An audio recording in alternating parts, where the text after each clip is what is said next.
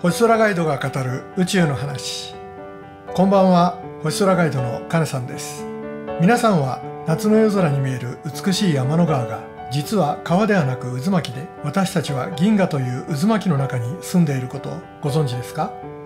今晩は銀河についてのお話です。銀河と天の川の関係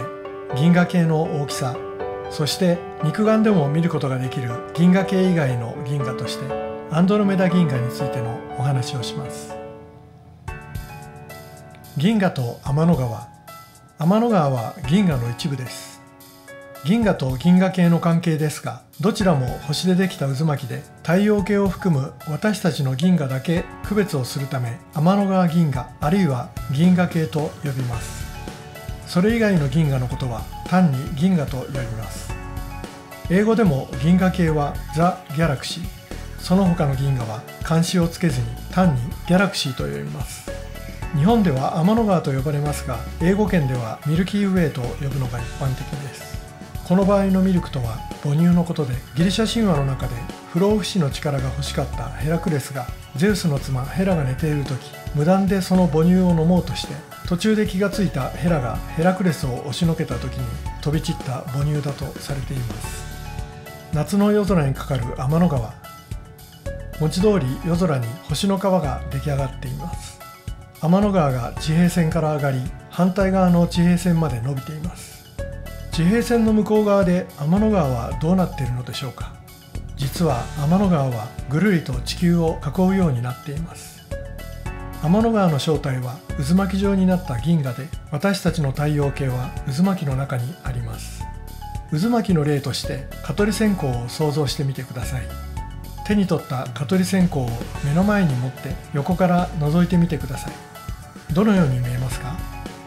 蚊取り線香を真横から見ると棒状に見えますよね。私たちは天の川銀河の渦巻きを真横から見ているので川のような棒状に見えているのです。さて夏に見える天の川も冬になると見えません。太陽系全体が銀河系の中にあるのなら冬でも見えるはずです。実は冬でもちゃんと天の川は出ています。ただ星の密度が夏よりも低いのです。その理由は私たちが夏に見ている天の川は星の密度が高い銀河系の中心の方向を見ていて冬に見ているのは星がまばらな銀河系の外の方向を見ているからです。銀河系の大きさ。私たちの天の川銀河の大きさは直径10万光年。光が端から端まで走るのに10万年かかる距離の直径があります。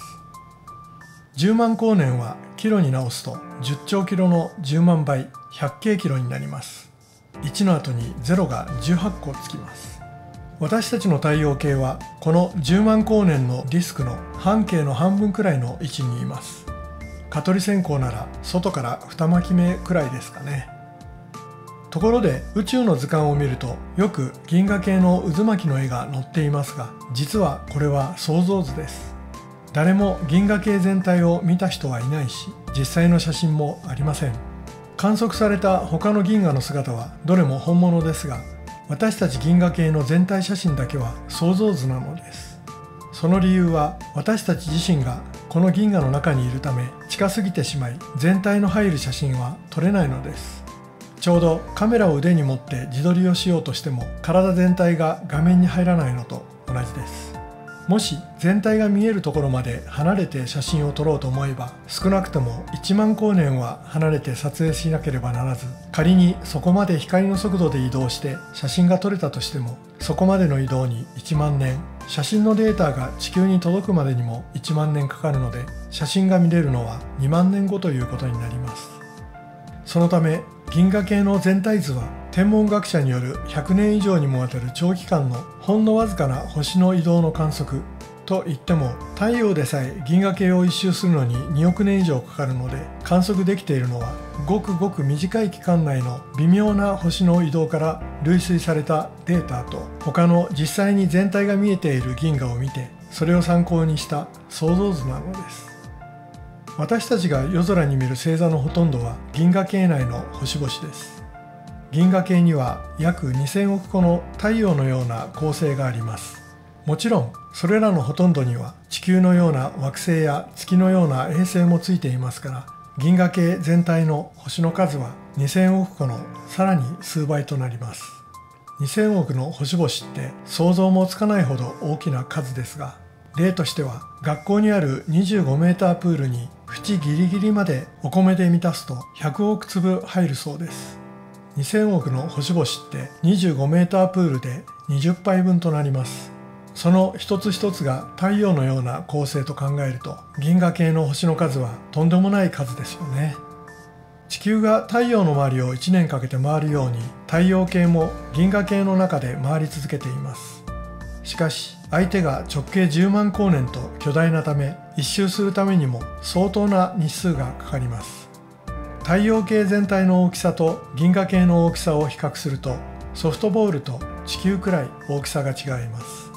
そのため太陽系は時速86万キロというめちゃくちゃ速い速度で動いているにもかかわらず銀河系を一周するには2億2000万年もかかります。つまり太陽は誕生してから今までにまだ銀河系を23周しかできていないのです。また最近分かってきた興味深いことは太陽系が銀河を回ることと地球上で定期的に起こる生物の大量絶滅の関係性についてです。太陽は銀河系を平らに回っているのではなくイルカが海面をジャンプするように銀河系ディスク面を上面と下面を波打つように貫通しそれを繰り返しながら回っていることが分かってきました。実は銀河系ディスクには星だけでなく暗黒物質と呼ばれるまだ具体的にどのようなものか分かっていない物質があることが分かっています。そしてこの暗黒物質の中を太陽が通過するたびに太陽系の星々は暗黒物質から強い重力の影響を受けその結果太陽系の小惑星帯から小惑星が太陽の方向に落ちてきてその一部は地球に衝突したりします。さらに地球自体も暗黒物質の影響で形が歪み火山活動が活発になったりすることで隕石の落下とともに地球上に大量絶滅が定期的に起こっていると考えられています。現在このように太陽系が銀河系ディスク面をくぐる間隔は周期3000万年と考えられています。そのため恐竜が絶滅したような大量絶滅が地球上には3000万年に一度くらいの頻度で起こると考えられています。銀河系以外の銀河。さて先ほど私たちが見ている星々はほとんどが銀河系の中の星々だと言いましたが実は肉眼でも見える銀河系の外の星があります十分に暗い夜空でしたら秋の星座のアンドロメダの右膝あたりにぼわっと小さな雲のようなものが見える時があります。これがアンドロメダ銀河です。夜空でアンドロメダ銀河を探す時はカシオペア座のダブルとそこから北極星も探してみましょう。次に北極星からカシオペア座のダブルの真ん中の星をたどりその距離の3分の2ほど延長したあたりにぼんやりとした雲のように見えるアンドロメダ銀河を見つけることができます。アンドロメダ銀河は人間が肉眼で見ることができる一番遠い物質です。その距離は220万光年です。今晩アンドロメダ銀河が見えているとしたらその光は220万年前に出発した光なので私たちは220万年前の銀河を見ていることになります。逆にあちらから宇宙人が高性能な望遠鏡で地球を観察しているとしたらその地球上にはまだ人類は発生していません。アンドロメダ銀河は大きさが天の川銀河の1.5倍。そのためその中の星々の数も天の川銀河より多いです。アンドロメダ銀河は私たちの天の川銀河に向かって進んでいます。